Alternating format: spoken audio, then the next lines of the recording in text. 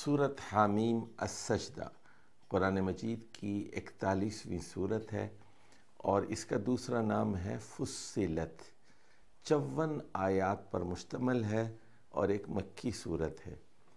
और आप जानते हैं कि ये हवामीम की दूसरी सूरत है। पहली सूरत थी हामीम अलमोमिन और ये है हामीम असजदा पहला पैराग्राफ इब्तदाई आठ आयात पर मुश्तमल है।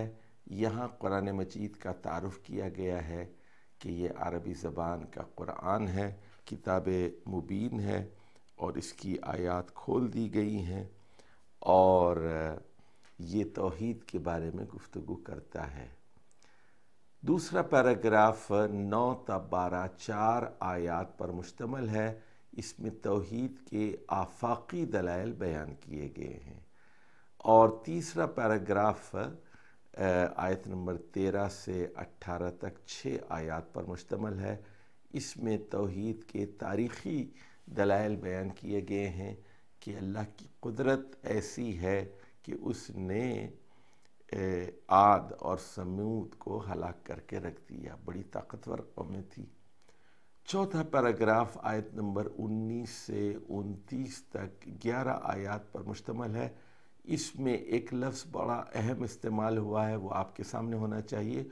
वो है आदा उल्लाह आदा उल्लाह अल्लाह के दुश्मन। तो ज़ाहिर है कि अल्लाह के दुश्मन कौन है? वो तोहद के दुश्मन है। जो अल्लाह के पैगंबरों के दुश्मन है, अल्लाह के पैगंबरों की तालीमात के दुश्मन है तोहद के दुश्मन हैं, वो अल्लाह उन्हें अपना दुश्मन करार देता है। मज़ीद वजाहत हम आगे करेंगे जब तफसील पर आएँगे। पाँचवा पैराग्राफ, आयत नंबर तीस से छत्तीस तक है और ये सात आयात हैं। इसमें बताया गया है कि उन लोगों का क्या अजर सवाब होगा जो तोहद पर चलते हैं, जो मजलूम हैं, जो साबिर हैं, शाकिर हैं, इस्लाम की दावत देते हैं मुबलग हैं, दाई हैं।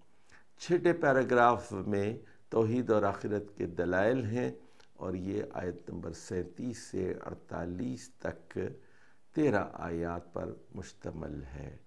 और आखिर में जो छः आयात हैं आयत नंबर उनचास से चौवन तक इसमें बताया गया है कि बहुत जल्द आ, आ, ऐसे वाक़ात पेश आएँगे कि जिससे इस्लाम की हक्कानियत साबित हो जाएगी।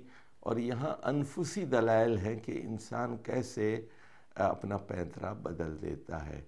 पूरी सूरत का मरकज़ी मजमून ये है कि कुरान मजीद की दावत तोहद और दावत आखिरत को तस्लीम कर लो और डटे रहो, सब्र इस्तकामत का मुजाहरा करो और दुनियावी, उखरवी कामयाबी से नवाजे जाओगे।